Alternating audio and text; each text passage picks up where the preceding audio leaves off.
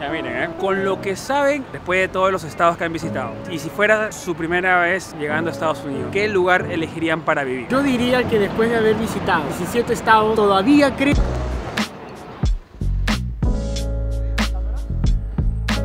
Ah, para todos ustedes, seres humanos de poca fe, alguien se fue de compra.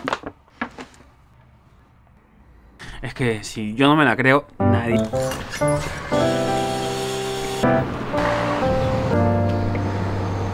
¿Qué? ¿Qué estás haciendo?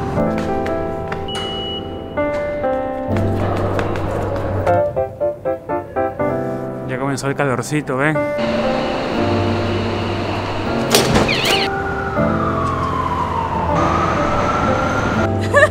¿Quién viene a visitar? Mi hermanita, es Ah, mi mejor ya. amiga de. Ecuador. De Ecuador. De Ecuador. ¿Cuánto tiempo hay acá ya? Ah, yo voy al año casi. ¿Qué es lo que menos te gusta de Nueva York? En Nueva York creo que la, la- las ratas, pero eso ya es un diario vivir de acá.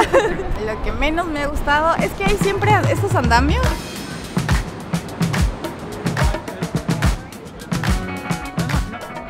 Chicos, yo creo que ustedes ya saben ya pues yo lo que pienso. Lo que no me gusta de Nueva York. ¿Qué es lo que detestas de Miami? Wow, el clima primero.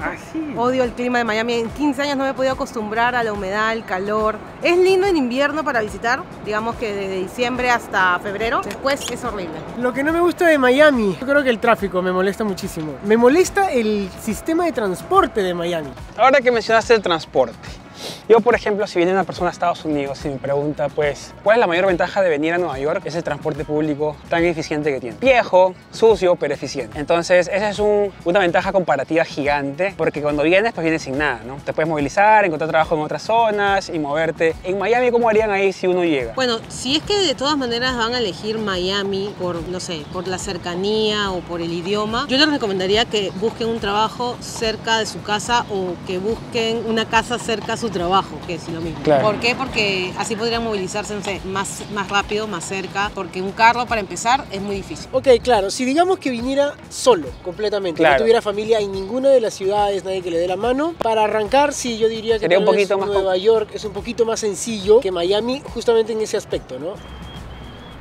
Yo sé que nosotros recomendamos hablar inglés para mejorar, Siempre. pero en idioma yo creo que los dos estados, Sí, son, son bastante accesibles. Florida quizás más, hay más ciudades que Yo hablan creo que español. sí, yo creo que sí, que Miami, Orlando, son ciudades donde se habla full español. Claro, ten- tengan en cuenta un detalle, porque a mí me encantan decir datos, pues, ¿no? Y es que Nueva York es una de las ciudades donde más etnias hay juntas. O sea, hay gente que habla español, pero hay gente que habla ruso, mandarín, o sea, tiene las comunidades más grandes de todo el, de todo el mundo, están metidas aquí. Miami no, en Miami están la gran mayoría de las comunidades son latinas. Sí, es verdad, ¿eh? Nueva York es muy diverso, muy diverso en ese aspecto. Eso es de las cosas que me gusta también a mí, porque siento que viajo dentro de un, sin mover tanto de la ciudad de Nueva York, pues, ¿no?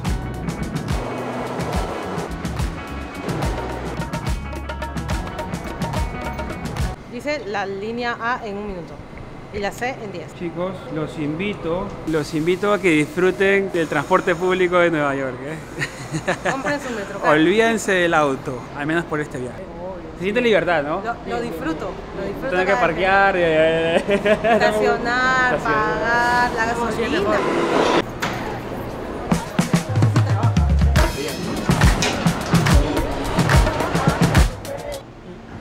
Eh, estadísticamente, supuestamente, crímenes violentos, increíblemente, Miami está más alto en porcentaje. Robo de casas, no sabía eso. Pero una cosa son las estadísticas, otra cosa es el día a día que ustedes viven, ¿no es cierto? Siente No, digamos que nosotros personalmente nunca hemos tenido una mala experiencia en lo que es este asaltos y robos de ese tipo. Más allá de que pues me han roto la luna del auto alguna vez y me han robado, no ha pasado a mayores. Lo que pasa es que todo es todo entra por los ojos. Todo es visual. Puede ser que estadísticamente Miami tenga un rate más alto de criminalidad. Sin embargo, si tú estás por las calles en tu día a día, de tu casa al trabajo, etcétera, o sales inclusive a comer un restaurante o a una discoteca, no te vas a dar cuenta. Si tú estás en Nueva York, puede ser que tengas menos probabilidades de que te asalten, tal vez, pero visualmente tú estás por las calles y crees o puedes tener la sensación Sí, yo creo que también Nueva York, pues es que como caminas, tomas transporte público, interactúas con gente, pues estás todo el tiempo expuesto. En cambio, como dice él, pues no tú agarras tu auto, trabajo, trabajo. ¿Cuánta gente vive en Miami? Wow, depende. Miami, Miami, Miami, la ciudad, digamos, como... la ciudad, Ahora, el condado, que es donde vive la gran mayoría. ¿El como- condado cuál es? El condado Miami-Dade es- son varios distritos, o sea, incluye Brickell, incluye Coral Gables, Kendall, South Miami, Hialeah, eh, incluso Miami Beach, con, pertenece a Miami-Dade. Entonces ahí hay como 6 millones de personas. Claro, no confundan, por ejemplo, lo que vendría a ser Miami, Miami City, la ciudad de Miami vendría a ser como New York City y el condado de Miami-Dade vendría a ser lo que en Nueva York sería, por ejemplo, Manhattan, Brooklyn, Queens.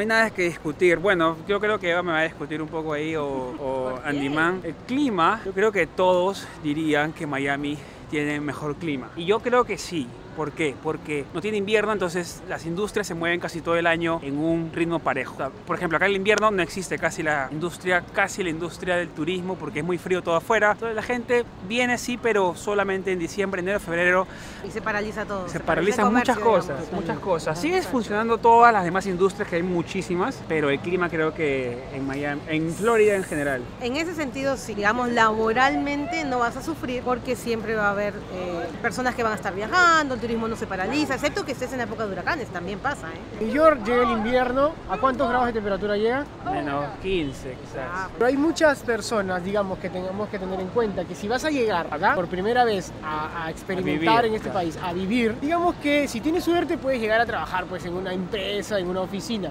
Si no- de trabajo. Vas a ir a trabajar como casi todos los que vinimos, a algún lugar Servicio. de servicio. Lo que sí Nueva York yo creo que parcha todo lo que no consume en invierno en verano. Un error que cometieron al principio de vivir en Miami y que no deben hacer. definitivamente fue vivir lejos del trabajo o conseguir un trabajo tan lejos del lugar donde vivíamos. Porque teníamos que, yo me tenía que levantar a las 5 de la mañana, tomar el bus, tomar el tren y tomar otro tren para poder llegar a mi trabajo a las 7 de la mañana. Dos horas de viaje. Como el sistema de transporte es... y como el sistema de transporte es malo, digamos, tú sales del trabajo a las 11, 12 de la noche y ya no hay, ya no hay tren. Y ya prácticamente no hay buses. Entonces, si no tienes auto y vives lejos, ya estás ahí, estás muerto. Yo diría lo mismo, ¿ven? Pero acá en Nueva York lo mismo, porque las horas de viaje, Nueva York como es una ciudad tan grande y el transporte funciona bien, tú puedes llegar a muchos lugares mucho más lejos, yo creo. A una hora puedes trabajar, pero también eso aumenta el tiempo que vas a pasar en el transporte. Puede ser dos horas al día, a la semana ya son pues 10 horas y eso al final del trabajo lo que genera es que solamente quieras ir a descansar y a dormir. Que alarga las horas de trabajo, básicamente, ¿no? sí. ya no sientes que estás yendo a trabajar de, de 8 a 5, sino estás trabajando desde las 6 hasta las 10.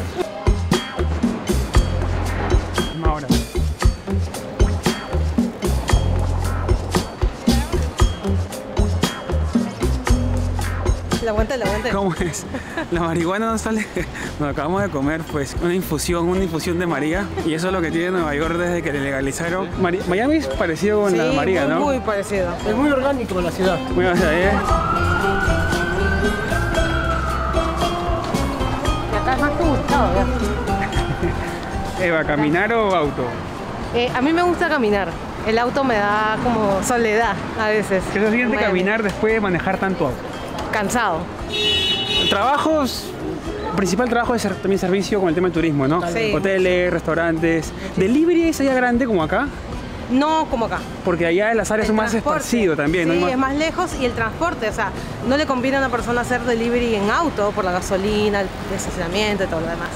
Entonces, acá- acá, es más fácil movilizarse en bicicleta Claro, que acá-. Ahora sí, Uber, que también está relacionado a lo mismo, sí es más rentable, me parece, en, en- en Miami, porque la gente, el turista se mueve mucho en esas aplicaciones. Porque tienes que, o si no, alquilar un auto, ¿no? Sí, conviene más. Si estás de turista y vas a moverte, por ejemplo, solamente en lugares específicos, toman Uber, toman Lyft, toman esas aplicaciones, porque auto puede costarte más carito.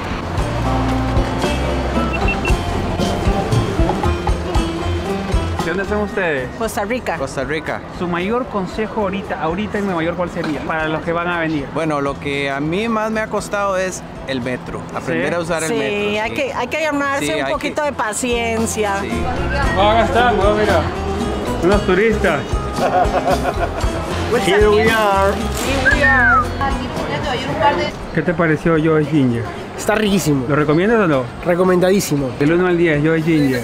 Le doy un 9. ¿Tú un ves? ¿Yo, puntaje? Oh, sí, ah, mira, 9 en general, pero la, la berenjena, 9.5, ¿ah? Lo que poco he comido le doy un 8 a Mendieta y Lara. Escúchame. Mm, te escucho. Así de, de, de, de- de- de la lengüita para afuera. Ujú. ¿Cuánto es el costo de vida de ustedes dos en más o menos? Sacando un cálculo así veloz, veloz, Sí, veloz, son como 5 mil dólares al mes. Entre los dos. Entre los dos, de gastos En Miami. entre renta, seguro del auto, comida, sin contar muchos lujos, ¿eh? te estoy dando las cosas básicas. Lo básico. Servicios. Yo creo que con Megan gastamos alrededor de eso o un poquito menos, creo, ¿eh? Casi, casi ahí. Casi La igual. diferencia es el auto. La diferencia es el auto. La asegurar. diferencia es el auto y la gasolina, yo creo, para vivir. Es auto, gasolina y seguro del auto. Entonces, Listo, ahí, tienes de tus diferencia. 600 Ahí tienes dólares de las 600. diferencia. A mí me gusta el clima de Miami. Ok, tal vez sea mucho calor durante todo el año, pero en Miami tienes algo que creo que no hemos encontrado en, en un- en ninguna otra ciudad y es que te sientes como que esto estás en casa. pues. Ustedes, eh, con lo que saben ahora mismo, después de todos los estados que han visitado, y si fuera su primera vez llegando a Estados Unidos, ¿qué lugar elegirían para vivir? Yo diría que después de haber visitado 17 estados, todavía creo que llegaría a Miami si tuviera que volverlo a hacer todo. Yo creo que hubiera seguido mi instinto desde un comienzo y hubiera venido de frente a Nueva York. Y te digo por qué. Y es que Nueva York es considerado un estado santuario. O sea, es un estado más amigable con el inmigrante. De hecho, te brinda ayuda. Por ejemplo, aquí en, Estados, eh, aquí en Nueva York puedes sacar un ID, una licencia, sin tener documentos. Entonces eso te facilita mucho más el proceso de adaptación. También puedes acceder a ciertos tipos de seguro de salud que son más económicos. Eso también hay en la Florida, pero no es tan conocido. La gente no sabe eso. Eso te ayuda un poquito a, A de- sí, a comenzar.